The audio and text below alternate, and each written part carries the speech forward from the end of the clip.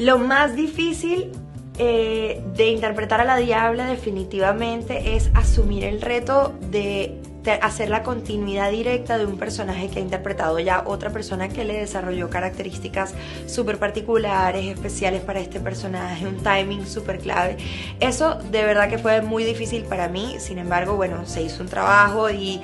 y trabajé con una coach vocal maravillosa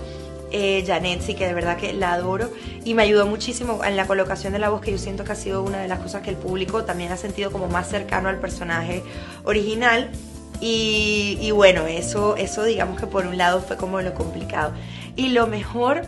es muy gratificante participar en un proyecto que tiene tan buena acogida, eh, no solo en Latinoamérica, sino en todas partes del mundo y que he visto, es querido y, y, además en este personaje en particular que la gente tanto quiere, para mí es un honor hacer parte de esta bella familia.